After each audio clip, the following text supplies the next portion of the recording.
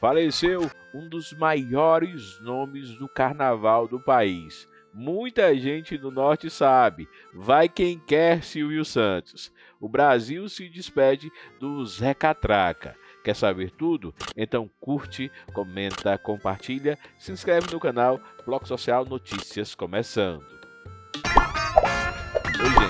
O jornalista, produtor cultural e um dos fundadores da banda Vai Quem Quer, Silvio Santos, conhecido como Zé Catraca, morreu na madrugada desse sábado 30 aos 74 anos e é mais uma das vítimas da Covid-19 aqui no Brasil ele deixou muito, mas muito legado, principalmente no Carnaval de Rondônia.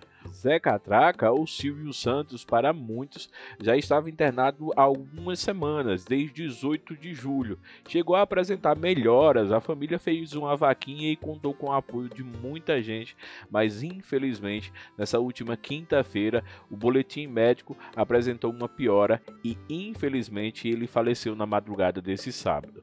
Silvio Santos nasceu em dezembro de 1946 no distrito de São Carlos.